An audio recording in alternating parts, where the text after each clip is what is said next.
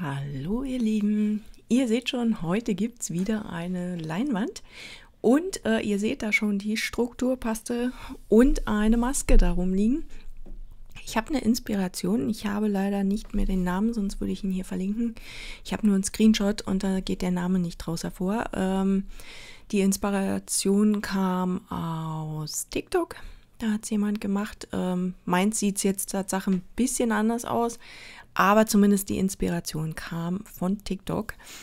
Und äh, ich habe alles drinne gelassen soweit und äh, habe dann einfach nur jetzt das Tempo ein bisschen hochgezogen, damit ihr trotzdem seht, was ich mache und äh, dementsprechend dann dem hoffentlich auch ein bisschen folgen könnt.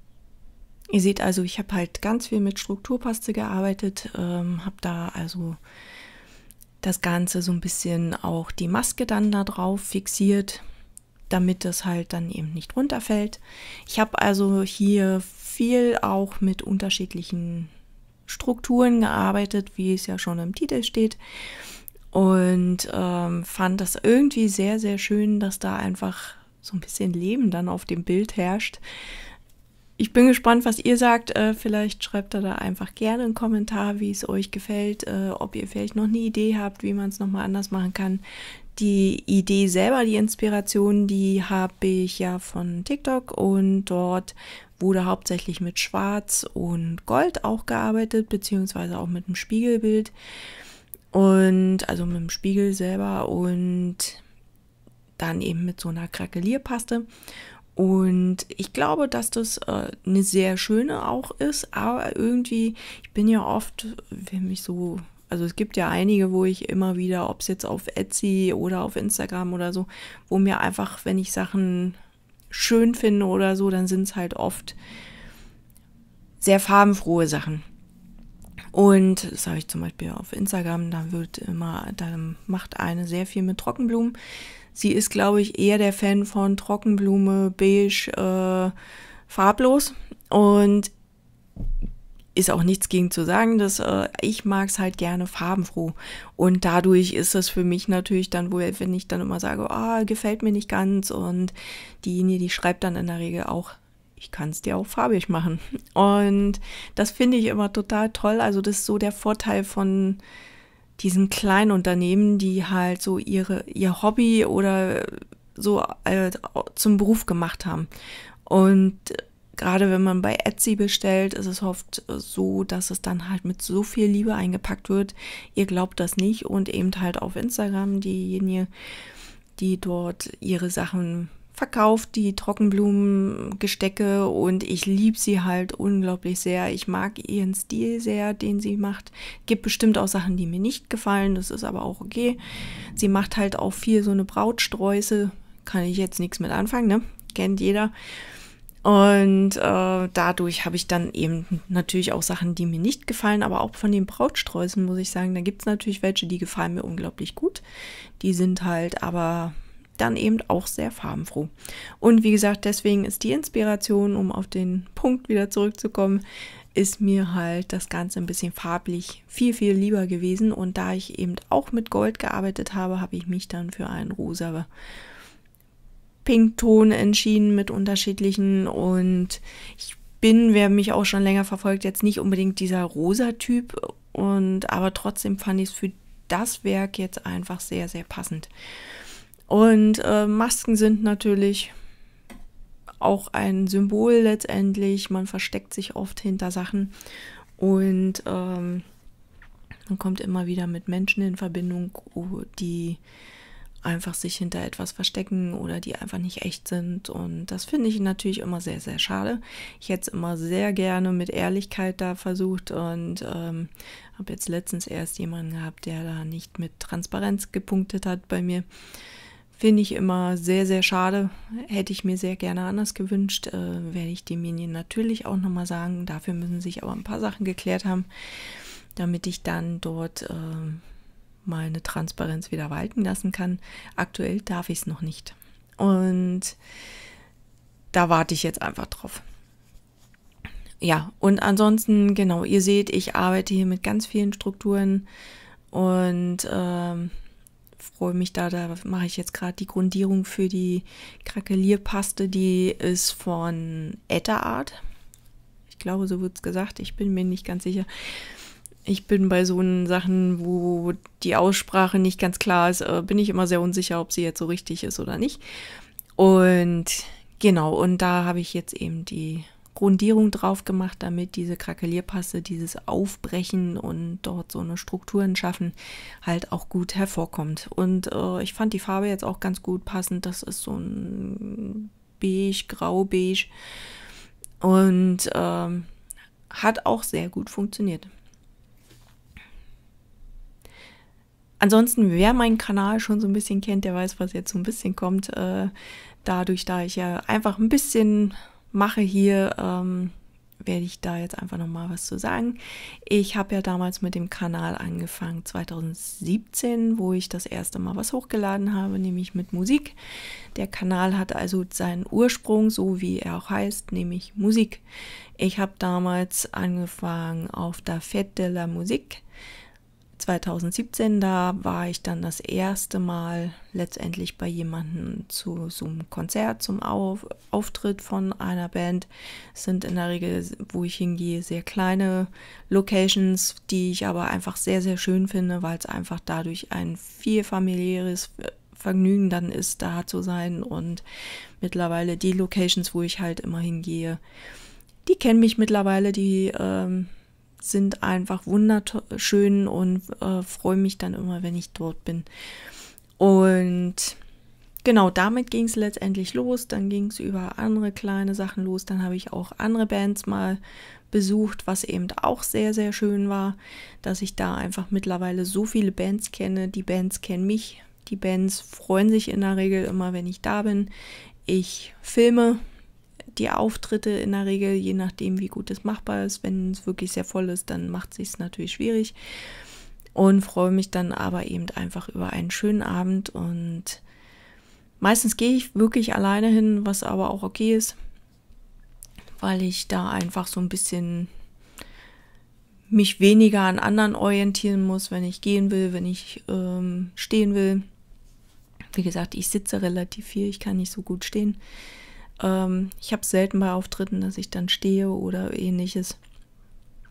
Und genau, und damit ging es eigentlich los. Ähm, das habe ich auch bis Anfang 2020 gemacht. Hauptsächlich. Und dann kam ja Corona und dann habe ich mich so ein bisschen äh, aufs Basteln eingelassen und durch den Lockdown, wir durften ja nicht so dolle raus, habe ich also dann dementsprechend das Ganze mit dem Basteln angefangen. Ich glaube, mein erstes Bastelvideo waren Seifengießen. Äh, da hatte hier in der Nähe einer so DIY-Sets äh, mit Seife, mit, ähm, ich weiß gar nicht, wie das heißt, äh, so eine Duft. Äh, Wachssachen, ähm, die man dann in so eine Duftlampe reinmachen kann. Und dann habe ich auch Tassen bemalt und Müslischalen. Das waren halt so die ersten Sachen und habe mich gefreut, dass ich damit auch den Laden unterstützen darf. Der hat eben auch Seifen zum Beispiel. Und ähm, leider sind die DIY-Sets äh, so ziemlich aus diesem Laden verschwunden. Ich finde es sehr schade, weil das einfach auch eine wunderschöne Art ist, Dinge zu verschenken oder mal auszuprobieren. Dort gibt es immer noch die Kurse. Ähm, ich bin jetzt aber kein großer Fan, da irgendwie alleine zu einem Kurs zu gehen. Hätte ich, wenn jemand zusammen mit mir hingeht, ist das okay. Aber ich finde es halt manchmal ein bisschen blöd. Und dementsprechend habe ich da jetzt eigentlich gar nicht mehr so viel jetzt diesen Kontakt dahin. Und aber so fing es letztendlich an und äh, habe es nicht bereut. Mittlerweile teste ich viel aus, probiere aus, habe also so viel Spaß mittlerweile daran, einfach mal zu machen. Und ich zeige euch ja sowohl die guten als auch die schlechten Sachen, zumindest aus meinem Blickwinkel. Und ich weiß, dass manche Sachen nicht so aussehen, wie vielleicht andere mit viel, viel mehr Talent das Ganze machen würden.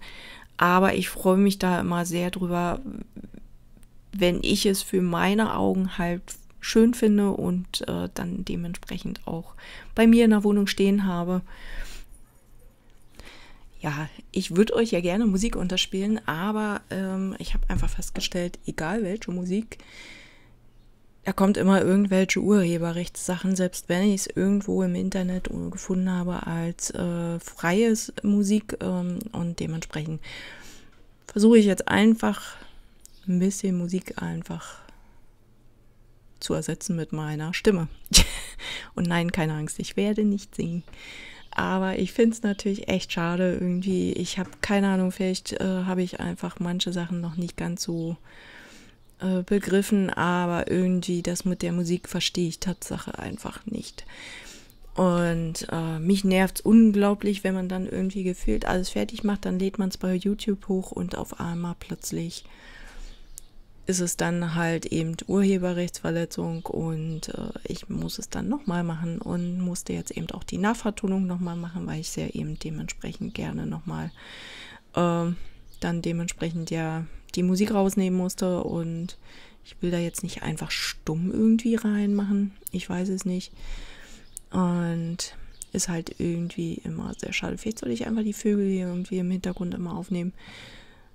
Die dürften, glaube ich, hoffentlich keine Urheberrechtsverletzungen machen. Und aber es, es gibt einfach Sachen, auf die man anscheinend achtet und trotzdem falsch macht. Und aber gut, ist vollkommen in Ordnung. Ich sag mal, bei den Musikvideos habe ich es ja sowieso.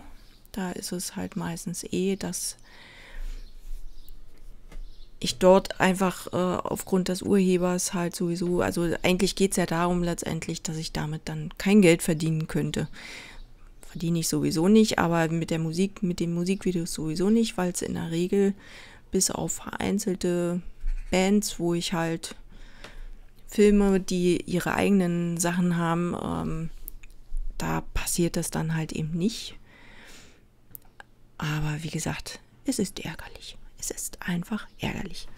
Und ja, ich sag mal, so viel erklären kann ich ja meistens jetzt gar nicht zu den ganzen Sachen, die ich dort mache. Einfach, obwohl ich es ja schon unglaublich viel verlängert habe oder, oder besser gesagt schneller gespult habe. Und aber dementsprechend, ja, ist immer so ein bisschen schade.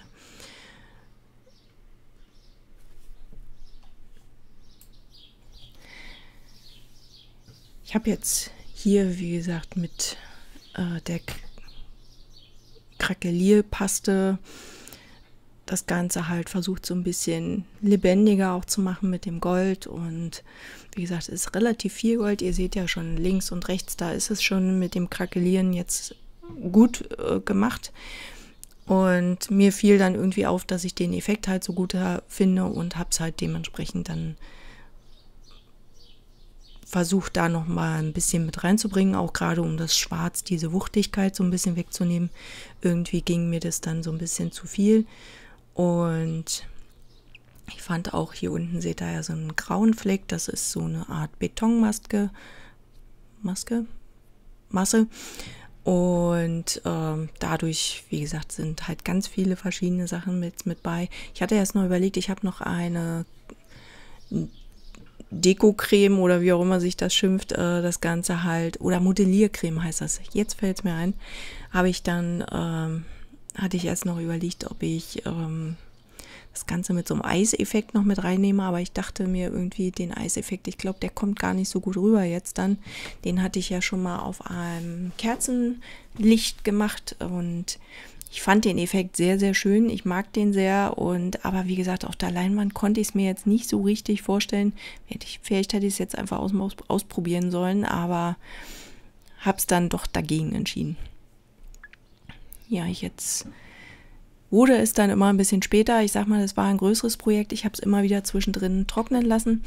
Und also ich habe da schon ein paar Tage mit zugebracht, einfach durch das Trocknen.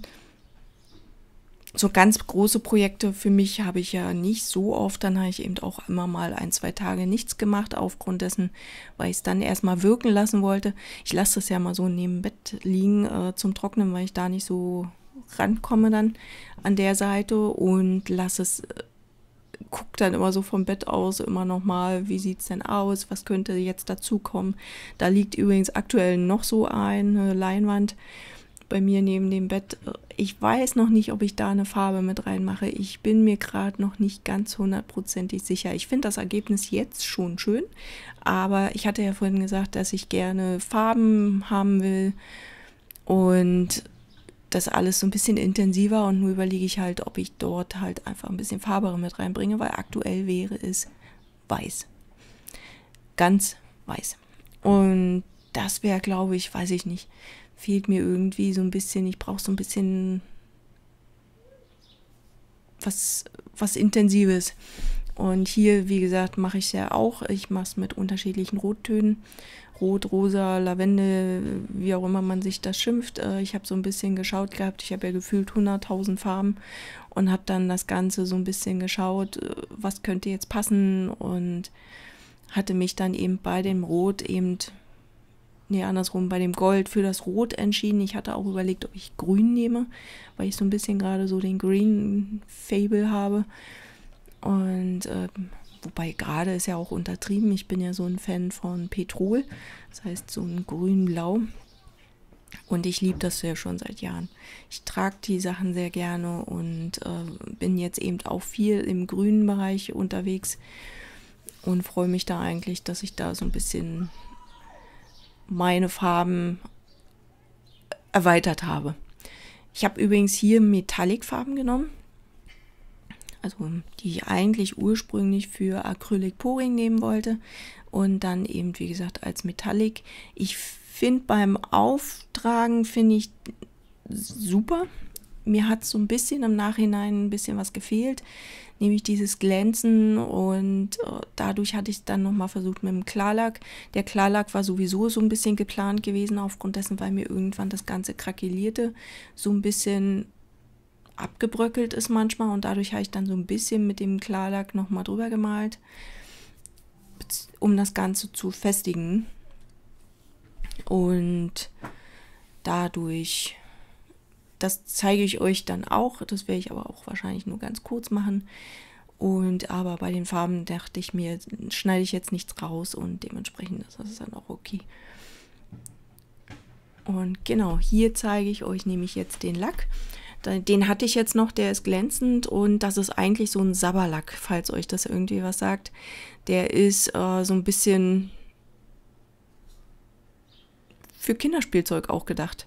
Also wenn man den anstreicht, dann ist das okay, dass das dann, wenn es getrocknet ist, eben auch Kinder zum Beispiel in den Mund nehmen können. Das haben die viel bei irgendwelchem Kinderspielzeug eben auch und dementsprechend, ja,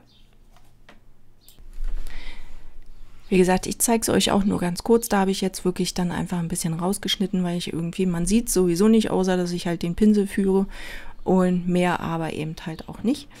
Und dementsprechend lasse ich da jetzt einfach ein ganzes Stück raus.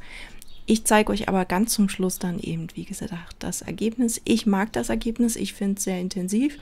Es gibt bestimmt Sachen, die man jetzt hätte noch anders machen können. Ich hatte ja auch überlegt, ob ich da noch so ein paar, ich habe noch so eine Spiegelaufkleber und ob ich die halt nochmal so zum Glänzen irgendwie mit reinarbeite. Aber ich konnte mich da nicht entscheiden, weil das eben so ganz runde Sachen waren und ob die dann da so reingepasst hätten, glaube ich fast nicht und dementsprechend habe ich mich dagegen entschieden. Aber jetzt kommt natürlich gleich das Ergebnis. Ich hoffe, euch gefällt es genauso wie mir. Und wie gesagt, schreibt mir gerne in den Kommentar irgendwie rein, was ich gerne mal austesten kann, was ihr von dem Bild jetzt haltet. Lasst mir einen Daumen nach oben da oder ein Abo und ich freue mich dann sehr drüber. Und ich wünsche euch jetzt erstmal einen wunderschönen Sonntag und ich hoffe, ihr seid nächsten Sonntag wieder mit dabei. Und bis dann. Tschüss.